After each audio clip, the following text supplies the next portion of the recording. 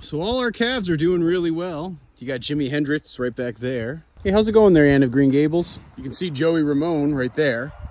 And I don't think I ever shared the name of our newest calf, uh, the young heifer calf that you see back here. Because she's the second generation of cattle born on our farm, she has to have a B name. You can see her sister, Belinda Carlisle, in the back there.